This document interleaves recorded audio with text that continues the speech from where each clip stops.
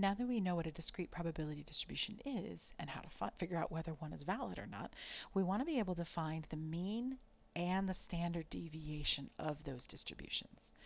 In spring 2023, for some reason the standard deviation piece was missing, so make sure you add that in. Now this symbol over here is the symbol for mean. Sometimes students forget because it's been so long. We learned that the first week of class. That was in section 3.1, maybe the second week of class. And then over here is the standard deviation. That's the symbol. That's a sigma. That's a mu. The x just means it's for the x variable. It's it's a way of labeling it, right? So don't don't get worried about the x. The x doesn't really mean anything. okay, now we're going to find these with technology, especially the standard deviation. We're also going to find the mean by hand. So primarily because it's not very difficult to find by hand and you'll be able to do either one, whichever way you're more comfortable with. But not for standard deviation. There's no point in doing that by hand. All right, so before I go any further, wait a second. These symbols, we've seen these, right? So this is mu, this is sigma. Looks like an O with a tail on it. They're Greek letters, right? Mu and sigma. And it's the reason we use them is they're the population symbols. Now, why can we use a probability distribution or why can we use population symbols for a probability distribution? That's because a probability distribution represents all possible futures. So it is a population. A probability distribution is the future, right? When you look at a probability distribution, you're looking at the future possible outcomes from this experiment, from this random experiment. So it represents all futures.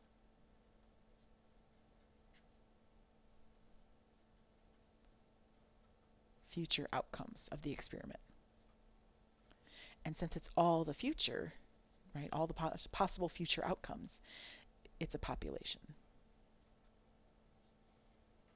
which is unusual for us. I mean, if you think back to chapter three, we were working way more with samples than we were with populations because we could get our hands on a sample. We could call up people and get sample data. But in probability, everything's a population because everything's assumed to be the entire possibilities of the future. Now, the mean is very important. One of the reasons we need to know how to do this is that the mean is so special. It has a whole field of study devoted to itself. Um, it's called the expected value. So when you look at the mean, the mean is the expected value. Right? They are tied together. I will use the words interchangeably a lot. Um, so the mean is the expected outcome from a probability distribution, from a probability experiment. And if we did more and more experiments, the mean of those results would get closer and closer to that expected value of the random variable. So it's very important to know that the mean and the expected value are one and the same. And we'll get more into that in later pages. And then I just have some instructions there that we're about to follow because we have our NBA finals data set right here. And we want to compute the mean and the standard deviation. And then we're going to interpret those values. Okay, so let me show how to do this in StatCrunch. And I actually um, uploaded this data set, I believe, right here. Okay, so, and I'll make this publicly available to you. So when we want to find the mean of this, it's the number of games is right here, and the probability to go with that is right here. So you can go to Stat, Calculators, and it's the very bottom. It's the custom calculator. Your values are your number of games, and your weights are your probability. And then you say compute. And there they are. And the mean is right here. It's 5.777. It says mean right there. and the standard deviation is right there. And if you're wondering, this is actually figuring out probabilities for us. So if I wanted the probabilities of, say, greater than six games, which we just did on the previous page, there it is, 0.645, right? So it, it has a nice little feature. Or if I wanted to do the probability of five games, just because I was curious, I could change this to five and say compute, and there it is. It's that bar, which was 0.237. So it's not strictly required, but it's kind of fun to play with. But the mean is right there and the standard deviation is right there. And you can tell the heights of the bars are the heights of those probabilities. All right, so let's go back and put those values in. So 5.777 and 9 point, or 0.954. I'm actually going to write them down before I switch back, otherwise I will forget. Let's write instructions for ourselves. So the StatCrunch path, it's up above, but you know, it doesn't hurt to write it again in your own handwriting. We went to stat calculators, custom, and then it asked us a question. It said the values in, which were our data points. So the values in were the x, and the weights were the probabilities.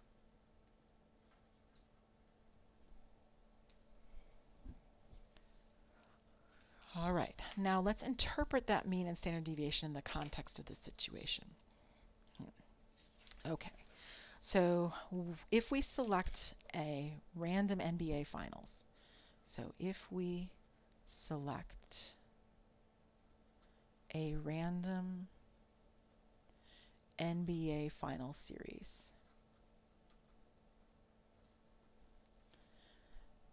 we expect the series, I mean, and we could say from 1947 to 2022, right? We expect,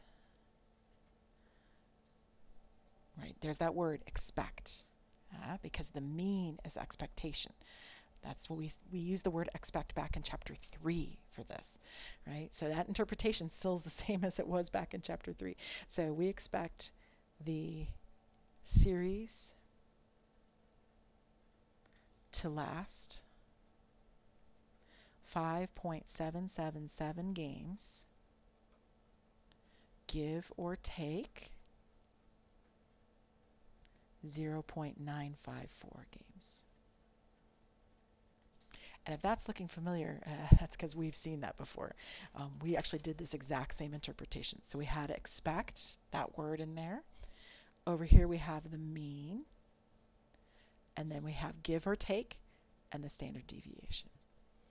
We learned that back in section 3.2.